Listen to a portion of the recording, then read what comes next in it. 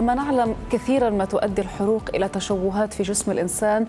هذه التشوهات تخلق لدى المصاب مشاكل نفسية حتى تؤدي به إلى عزلة اجتماعية يغلب عليها الخجل من الاجتماع بمحيطه. فعلا لين يعني تعتبر الحروق مشكلة من المشاكل الصحية العمومية العالمية وتسبب حسب التقديرات أو تسببت في طبعا ما يقارب من 200 ألف حالة وفاة سنويا.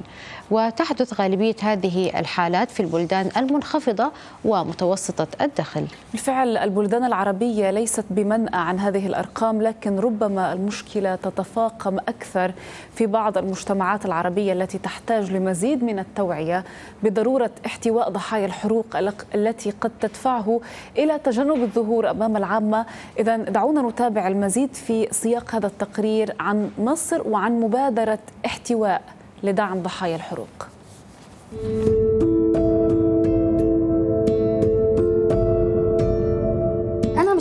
مختلف. أنا باكل وبشرب وعندي عينين وإيدين وبق ومناخير وعقل. إنسان طبيعي. إنسان طبيعي. كل اللي حصل له إن هو حصل له حادثة غيرت حاله من هنا لهنا. هنفضل لحد إمتى في وصمة لمصاب الحروق أنا هفضل لحد إمتى بترفض في شغل وفي جواز وفي صداقات وفي, وفي, وفي مجتمعات كبيرة أو أي تجمع ليه النظره ليه الأسلوب ليه الطريقة اللي الناس بتتعامل بيها طول الوقت معانا؟ كنت أقعد آكل مثلا في البيت عندي أو عند حد أغلب الناس اللي بتبقى قاعدة معاكي على الترابيزة بي بياخدوا بعضهم ويمشوا. وكان في واحدة زميلة كنت كل ما نجيب أكل مع بعض وكده تقول لي بس ما تفتحيش السندوتشات ما تمسكيهاش بإيدك. أنا راضية بقضاء ربنا. ليه الناس بقى طول الوقت مش مش راضيين ليه بقضاء ربنا؟ طول الوقت رفض اليوم تحديدا اللي عملت فيه المبادرة في شهر 11 2018 اول يوم للمبادره تسمع وتتكتب أصلا عنها إن أنا كنت لسه مرفوضة ما فيش ساعتين. أنا حد بيكتب ومؤلفه كتاب قبل كده. حد بيغني وعاملة بروم رواية قبل كده. حد الحمد لله يعني عنده اكسبيرينس في حاجات كتيرة جدا.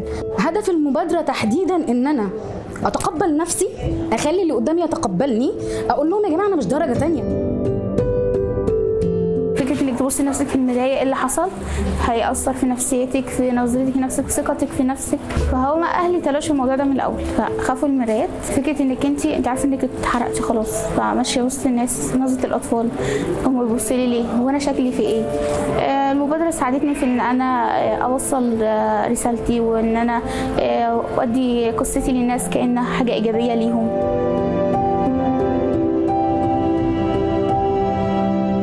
نتيجة الحادثة اللي أنا تعرضت لها سببت لي حروق وإعاقة في ذراعي اليمين خلتني مش قادر أشتغل شغلانات اللي هي فيها صنعة وإن هي تقدر تدخل لي دخل كبير. فأنا بقيت بشتغل شغلانات على قد إمكانياتي على قد الإعاقة اللي أنا فيها. محتاج إن إحنا يبقى لنا معاش أو دخل ثابت جنب الشغل ويكفي احتياجاتنا. حاجة بنعملها في المبادرة معانا دعم نفسي اكتيفيتيز اللي إحنا بنتجمع ونتكلم بيبقى عملية دمج ما بين مصابين الحروق وما بين الناس العادية. أه بعلمهم اكسسوارات. يعني أنا بعمل كام حاجة؟ كلها جهود ذاتية عشان أوصل للناس نظرتنا إن إحنا عادي إحنا مش إحنا مش مفهوم نستخبى أو يبقى في وصمة علينا أو أي حاجة. الدعم النفسي معانا مستشارة نفسية. عندنا حاجات كتيرة جدا. ده كل دعم مادي. بلاقي بدور للناس على شغل. بحاول إن أنا مثلا أكلم حد مثلا على علاج أو حاجة. نفسي إن إحنا في يوم من الأيام يبقى عندنا كيان بيهتم بالشغل بنظرة المجتمع. بإن إحنا نكون بني آدمين طبيعيين. ما اترفضش مش كل ما أم تيجي ابنها يخطبني تقول لي احمدي ربنا إن أنت واخدينك وأنت وأنت محروقة. احتواء عايزة الناس تحتوينا وإن إن المجتمع كله ما بين مؤسساته ما بين جهات معنية أفراد كله يهتم إن هو يساعد مصاب الحروق. بتحبني ولا الهوى؟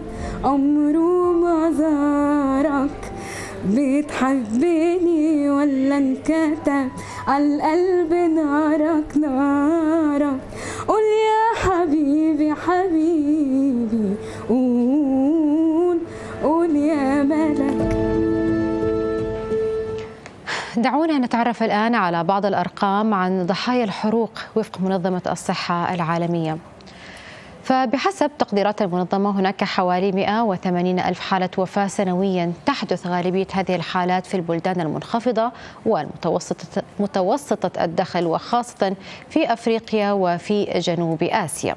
ووفقا للمنظمة فإن معدل الوفيات من الأطفال الناجمة من الحروق في البلدان المنخفضة ومتوسطة الدخل يزيد عن مثليه أو مثله في البلدان المرتفعة الدخل بأكثر من سبعة أضعاف في الوقت الراهن. ويشكل أو تشكل الحروق غير المميتة أحد الأسباب الرئيسية للأمراض المزمنة بما في ذلك الاستشفاء المطول والتشوه والإعاقة والتي غالبا ما يترتب عليها الوصمي والنبذ وتشير التقديرات الصحية أو الصحة العالمية أنه في عام 2004 أصيب حوالي 11 مليون شخص في العالم بحروق خطيرة استدعت العناية الطبية.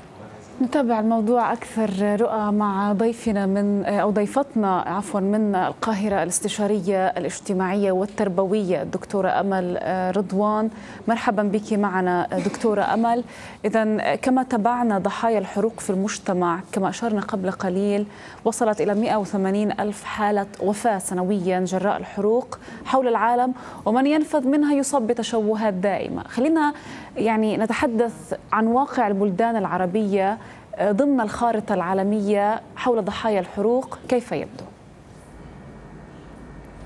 هو مع الأسف ضحايا أو مصابي الحروق في الدول العربية أو في الدول النامية والفقيرة بصفة عامة هم أكثر عرضة لإصابات الحروق أو النسبة بتزيد قوي لأن في تناسب طردي ما بين الفقر أو انعدام المستوى المعيشي أو المستوى المعيشي المنخفض وبين زيادة نسبة الحروق لأن يمكن تكلفة علاج الحروق تكلفة باهظة جدا وبيحتاج فترات طويلة طويلة فمع الأسف بيكون النسبة بتكون أزيد لأنها بتحتاج لعمليات تجميلية كتيرة باهظة التكاليف فلا يستطيع الكثير تحملها.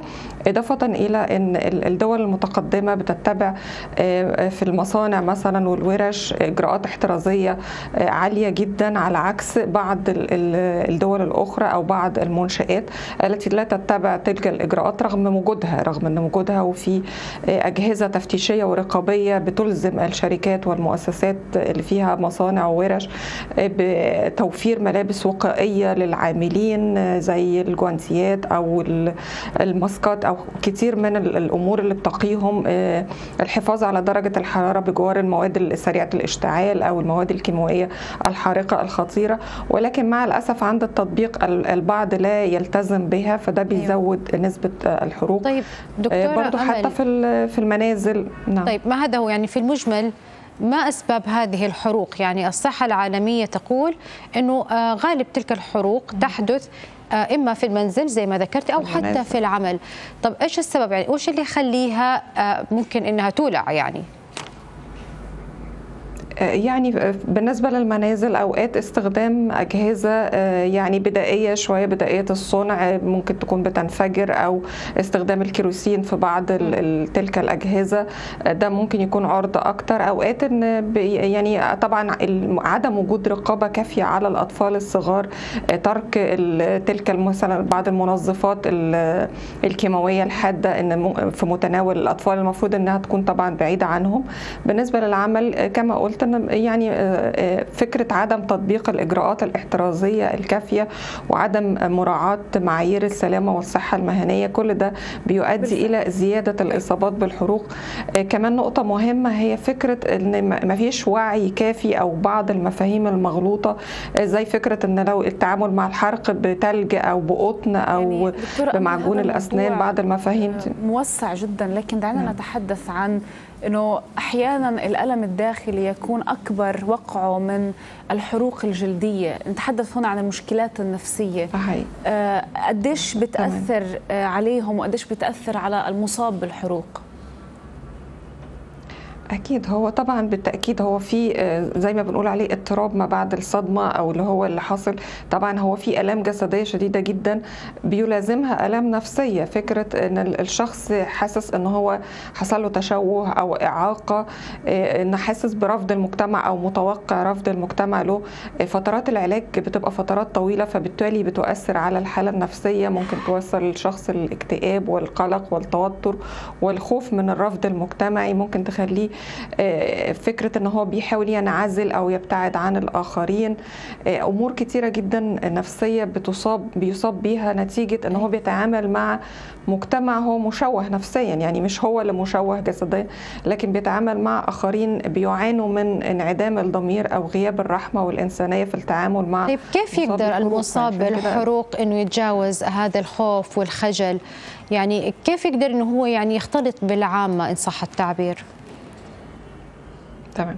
أول خطوة وأهمها هي فكرة تقبل الذات كما هي إن الشخص نفسه آه هو مصاب بأمر شديد وأمر ليس بهين آه، بداية آه، هو عليه إن هو يتقبل آه، نفسه كما هي حتى يتقبله الآخرين. يتعامل كان هو إنسان طبيعي هو بالفعل إنسان طبيعي وأي حد كمان معرض إن هو لا قدر الله يصاب بأي إصابة أو في حادث أو حريق فعليه إن هو يتقبل نفسه. فكرة الإنكار مش فكرة صحيحة لا هو بيتعامل مع الأمر الواقع وعارف وعارف وكمان يبقى فاهم إن ال- المجتمع اللي حواليه قد ينظر له بنظرة غير لائقة آه، ينبذه يرفضه ممكن تضيع عليه فرص وظيفية أو فرص في الارتباط. آه، كتير من نظرات حتى الأطفال اللي فيها آه، خوف من شكله. وعشان كده هنتنقل لنقطة إن أنا فكرة توعية الأطفال إن أنا أوعي الطفل إزاي يتقبل الآخر مهما اختلف عنه. فهو على ال- المصاب نفسه إن هو يرضى بالأمر الواقع يحاول إن هو يتكيف آه، مع ال- المشكلة دي يشوف الحلول ليها. كمان برضو من المشاكل اللي ممكن تواجهه إن هو يعني يتوقع آه، إنه هيشفى تماما أو مش هيبقى فيه أي آثار لعملية الحرق. فعلى الطبيب من البداية إن هو يخبره إن في بعض درجات طبعا الحروق اللي على صعيد نعم. لكن يعني زي ما شاهدنا بالتقرير إنه كان في نسبة وقع نفسي جدا كبير حتى بتعامل المجتمع معهم. يعني في هذه الحالة اللي بتقع على عاتق المجتمع كيف من الممكن احتواء ضحايا الحروق؟ من الهام جدا آه، فكرة تقديم الدعم والاحتواء من الأسرة بداية وتقبلهم ومحاولة آه، إعادة تأهيله عشان يتوازن نفسيا لأن هو فعلا مر بأزمة شديدة وحتى فترة العلاج الطويلة برضو بتخليه لازال آه، يعايش ال- المحنة. آه، فكرة أن هو المجتمع بيقدم له يعني الدعم النفسي الحقيقي والصحيح دون استهانة بمشكلته ولكن مجرد محاولة التخفيف عنه آه، قبوله مجتمعيا آه، يعني فكرة إن أنا أتقبله آه، طالما هو وظيفة مناسبة له ليه أرفضه فيها يعني؟ صحيح. حتى في بعض ال- الشركات ممكن ترفض ال- الموظف حتى لو هو مش بيتعامل مع جمهور. ودي نظرة خاطئة ونظرة ظالمة صحيح. ومجحفة لحقوقهم. هم ليهم كافة الحقوق. على الإعلام على الدراما تقديم نماذج فعلا يعني هنا في دور مجتمعي على أرض الواقع. كبير يعني حتى يتم. دمجهم ونتعامل معهم إنهم أفراد معانا في المجتمع هذا ونتقبلهم بدون نظرة رحمة وحتى شفقة. أشكر مداخلتك معنا لهذا النهار الاستشارية الاجتماعية والتربوية الدكتورة أمل رضوان شكرا جزيلا لك.